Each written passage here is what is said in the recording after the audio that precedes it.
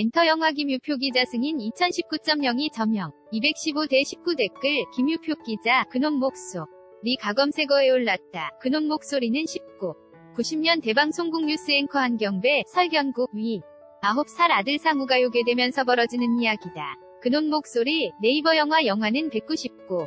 1년 이영국은 유괴 사건을 모티브로 픽션을 까미 해제 구성한 작품이다. 감독은 박진표다. 출연 지는 설경구, 김남주, 김영철, 강동원 등이 다 실제 사건은 당시 연일 뉴스에 보도될 정도로 엄청난 파급력을 가져왔었다. 이후로 유괴를 꺼 정한 학부모들이 직접 자녀 이하교를 자처하는 등 여러 사회적인 변화도 많았다. 추천 기사 체키 무슨 내용일까? 생존을 꿈꾸는 로봇체 피와 로봇을 통제하려는 인간 위대결 인사 뜻은 인사이더 인사이더 를 압축시킨 단어 무리에 잘 섞여 놓을 수 있는 사람 채영 웹툰 작가 김풍 주호민과 셀카세 기상 큰 미녀 마마무 MAMAMO 화사.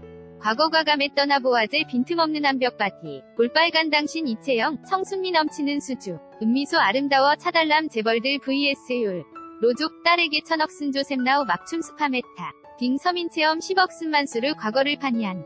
어셔와사 웨이브 헤어에 크림 컬러 의상 입고. 여왕님 포스 콜레트럴 무슨 내용? 평범 한 택시 운전사가 위문이 손님을 태우면서 사건에 휘말리는 이야기 엑스맨 아포칼립스 제니 퍼로렌스 과거 도발적이나 보공개 눈어디다. 둬야 할지 김나영 사랑스러운 두 아들과 함께 홀로 나아가야 할 시간 인생 다큐마이회 이홍민 누구지? 1970년 대풍미했던가.